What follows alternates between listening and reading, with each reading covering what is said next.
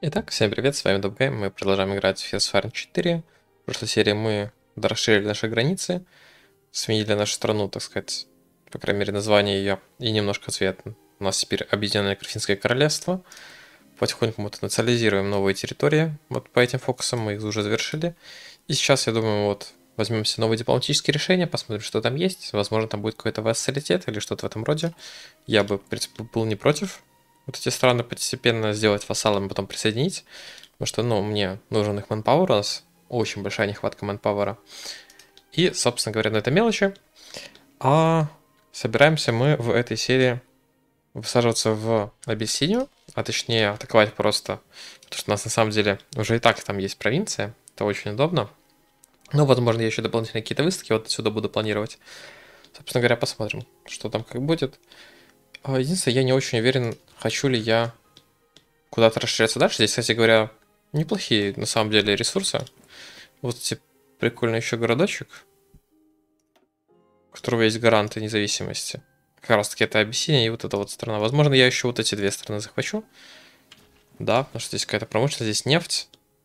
Здесь, кстати говоря, очень много нефти на самом деле. И если мне вдруг понадобится нефть, я, в общем-то, теперь знаю, где ее искать. Но на самом деле нам не хватает буквально стали, хрома и алюминия. Здесь, кстати говоря, есть сталь, есть алюминий. Единственное, я не вижу хрома здесь. Ну, наверное, так просто не У нас есть хром вот здесь вот. Так что нам бы реально захватить эту страну. Ну и да. Возможно, мы здесь еще что-то позахватываем. Чисто ради ресурсов. Ну, посмотрим. И поехали.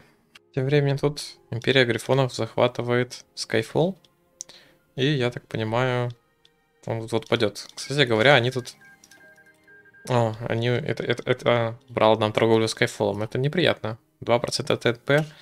Это все-таки 2% ТНП. И Хаукленд с ними воевал, но, видимо, вот тут как раз-таки и перестал. Кстати говоря, Эквестрия, как мы можем видеть, успешно контратакует уже чейнджлингов. И на самом деле, ну, очень сильно себя по промышленности подняла, прям очень. И армия у них, видим, теперь огромная. Так что Эквестрия будет очень сильной страной сейчас. Ну, Сталинград тоже, на самом деле, неплохая. Хотя, конечно, Эквестрия раза в два больше. Сделали мы фокус занять кис-кис. Сразу делаем разбить льва. Ну-ка.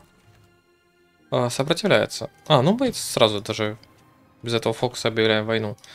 Ну-ка. Как у нас вообще здесь успехи? Я авиацию не перебросил. Нужно срочно это исправить. Вообще, в целом, все равно все, типа, нормально. Но вот именно что, типа, нужно сделать вот эту вещь обязательно. Поддержка морского вторжения будет здесь, они нам будут кататься и помогать а, против... Ну, помогать вот этих битвах. Собственно говоря, вот подъехал этот дебаф. 30% очень даже неплохо. Но самое главное, сейчас авиация надо, чтобы долетела. Истребители уже здесь. И теперь и бомбардировщики. Все отлично. Мы тут параллельно вон возьмем, давайте какие-нибудь фокусы. А алюминия не хватало. Давайте возьмем алюминий себе. Ну и слушайте, на самом деле, да, нормально все у нас. Хотя, по-моему, их было 15. По-моему, их было 15, а может быть и 16. Возможно, и 17, кто знает. Уже, уже мы не узнаем это число. Вы, может, конечно, знаете, я уже нет. Ну и, собственно говоря, мы вроде как более-менее успешно продвигаемся. Теперь, помните пропустку? А вот она. Очень тоже успешная. Единственное, мне стоит часть нашей авиации перебросить тоже на юг, чтобы они и на юге помогали. Есть, конечно, у нас некоторые проблемы с снажением здесь, но в целом, в целом здесь вот все хорошо. Буквально провинции еще несколько здесь вот захватить. Туда-сюда, да. Капитуляция произошла. Кстати говоря, мирного договора нету почему-то. Но мы еще и на Румейн. Румейр, точнее. Нападем здесь вот. Собственно говоря. Тоже я сделал КБ сюда. Его можно интегрировать через решение. А у нас не будет Странно. Видимо, какой-то ивентовый типа мир. У нас вот подчинение сразу с ракет здесь везде. Да. А, странный мир, странный. Но, видимо, видимо, так должно быть. Это типа ивентовый мир, наверное. Ну, Ромеро мы, конечно, забираем вообще без проблем.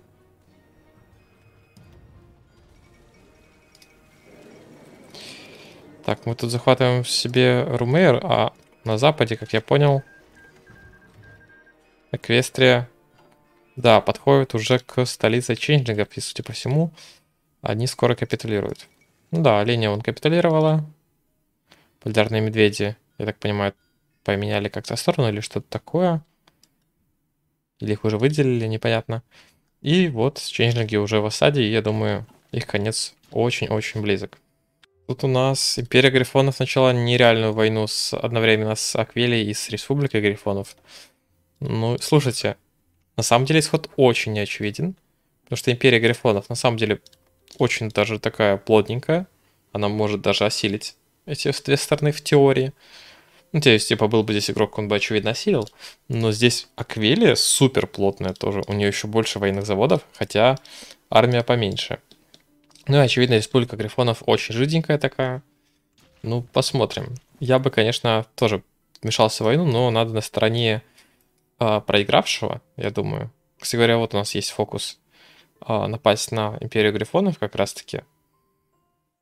Да. Ну, не знаю, я бы, я бы на самом деле в Аквелию, наверное, влетел. Посмотрим, мы немножко подождем. Немножко еще надо нам армию до обучить, я думаю, да. То есть, во-первых, сделать еще одну, пополнить эти, начать танковые какие-то делать. Кстати говоря, мы сейчас их поменяем, наверное. Заполню, чтобы потом нам не сказали, слишком много людей обучается. И сейчас будем планировать свою танковую дивизию и перебрасывать войска обратно на наш родной материк. И вот война Эквестрия с чейтлингами закончилась. Эквестрия вышла, ну, уж очень-очень сильный в итоге. 150 военных заводов это много. У нас, конечно, примерно столько же, да, но все равно. Э, очень сильно выглядит Эквестрия теперь. Но в один момент, я думаю, мы туда поплывем его пробивать, когда закончим совсем на нашем материке. Ну, пока что я хочу увидеть, как закончится война Империи Грифонов. Я вообще планирую уже нападение на а-, Аквилийскую республику. Кстати говоря, я посмотрел, что там можно сделать революцию, привести разных парней к власти потом. Э, у каждого там есть какие-то свои вещи. Возможно, я когда-нибудь тоже за нее поиграю. Скорее всего, это будет одна из следующих моих партий в Эквестрию. А, вот. Но в любом случае, пока что мы играем за как бы Винбардию, но уже Корфийское королевство. И нам нужно будет все это захватывать. А вот Империя Грифонов потеряла Грефитхейм, и я ожидаю, что они в один момент капиталируют. Единственное, есть шанс, что они внезапно сейчас капитулируют э, Республику Грифонов, да? А это, ну, вот-вот сейчас произойдет. После этого перетянут свои войска на юг, а, они еще и с Вединой воюют, господи.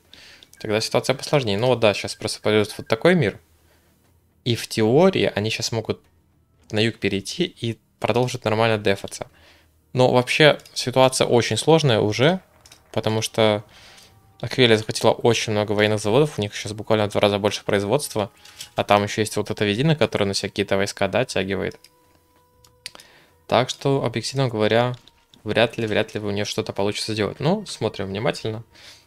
У нас ивентовый советник, который вот отсюда, да, пришел, который дает очень много приятных бафов. Ну и значит мы его обязательно возьмем, тем более у нас есть вот тут не сильно полезный слот. Да. То мы обязательно его назначим в скобочках. А где ж ты такой? Ладно, сейчас найду и назначу. Нашел. Надо сначала поставить вот этот промышленный этот сект, промышленный концерн. И вот здесь вот у нас просто он был недоступен. Мы ставим этого прекрасного парня. Отлично. И мы, кстати говоря, тем временем делаем фокус ассимиляции кошачьих, чтобы эти территории, собственно говоря, получше интегрировать в нашу страну. И, кстати говоря, у нас на самом деле очень даже неплохое подчинение везде по странам, да? То есть, объективно говоря, везде где-то 30-40. И мы получаем неплохие ресурсы отсюда. Вот, кстати говоря, и случился мир. Аквилия победила. Да, значит, Аквилия становится нашей целью. И вот, наконец-таки, у нас готова вся наша танковая армия. 24 дивизии. Готовы 4 наши пехотные армии. Можно направлять их всех на фронт. Собственно говоря, примерно где-то здесь вот я бы назначал наше основное наступление танковое. 24 танковые дивизии, это вам не шутки. Единственное, я заметил, у них вообще нету здесь дивизий. И из-за этого у них здесь, видите, какие очень-очень плотные стаки. Я подозреваю, что я вообще наступать буду только на юге, наверное. Ну, в центре не получится. Ну, и очевидно, вот здесь вот я буду наступать. Дивизий нету, то есть, как бы, почему бы не наступать? Я так понял, просто вот эти страны еще не успели их отстроить. А, это значит, что на пройдет КБ, кстати говоря, здесь 120 дней, здесь 56 дней, поэтому мы, конечно же, возьмем побыстрее. Ну и можно успеть еще немножко, буквально немножко наши танки здесь потренировать. И, возможно, построить какую-то сюда железную дорогу или каких-то, не знаю, узлов снабжения, потому что вряд ли нам хватит текущих. Итак, время, в принципе, настало. У нас почти все войска идеально готовы. Буквально танки чуть-чуть доучить. А, это потому что я всем добавил... Ну-ка, можно здесь паузу пока. Всем я добавил даже, даже своим а, пехотным дивизиям а, огнеметно-танковую роту, роту обеспечения. Кстати говоря, вот это стоит поменять на противотанковое орудие. Там очень много танков я видел. Пускай они тоже доучатся, а, чтобы имели максимальный бафов, потому что людских ресурсов у меня очень мало, а вот снаряжения очень много. Следовательно, мы любое снаряжение наше будем тратить и обменивать на уменьшение людских ресурсов. Если мы можем просто натренировать, чтобы дать им бафы, мы, конечно же, их натренируем. Вот они, собственно говоря, все и готовы. То есть у меня и в пехоте есть инженерные теперь танки, и в обычных танках. В общем-то, дивизия выглядит теперь очень-очень плотно. Параллельно там подкачиваю все нефть, потому что у меня начала кончаться нефть. Все-таки подлодок у меня уже, ну, потихоньку к трем сотням подходит число. Надо будет, наверное, действующий флот потихоньку тоже настраивать, начинать для подготовки высадки на запад. Ну, это все дело не сегодняшнее, собственно говоря, и даже не завтрашнее. А, нападем мы на Фель уже, думаю, в следующей серии. Эту, я думаю, уже можно подзакончить. В этой серии мы расширились вот сюда. Здесь взяли, так сказать, Эфиопию. А, Закончилась здесь война, здесь война, закончились основные войны. И теперь мы можем начинать наши собственные. Будем захватывать здесь все, захватим потом Ведину. Заберем острова. Здесь вон есть неплохое королевство, потом здесь будет Речная Федерация. Все это захватим и затем полетим на запад. Собственно, как я уже сказал, серия подходит к концу. С вами был Дубгей. Подписывайтесь на канал, ставьте лайки, оставляйте комментарии. Все как обычно. До скорых встреч. Пока.